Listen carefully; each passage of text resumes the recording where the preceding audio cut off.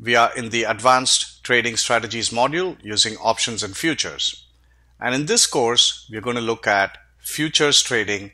Futures originally came about from a commodity standpoint. So if you had a corn harvest coming up in the future as a farmer, you wanted to either hedge your harvest or you wanted to protect uh, your harvest with a certain minimum price. The concept of futures obviously extends to all financial markets.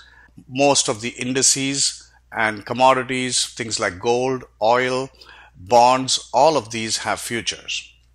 So futures trade just like stocks, except for there's the, the big difference is that futures have a time limit. In our context, uh, in the financial markets, all futures have an expiry. So it could be three months away, it could be next month. So for example, the S&P futures, which is the slash ES, has an expiry of every quarter.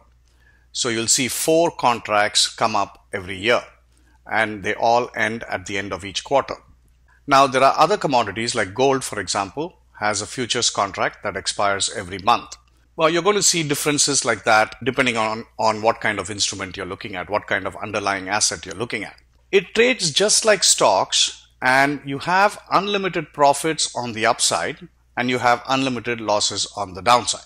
And futures are also more leveraged than options. And we'll be looking at all of these issues as we go into the part two. I'm going to take you into the trading platform and show you how futures trading actually happens. Now the futures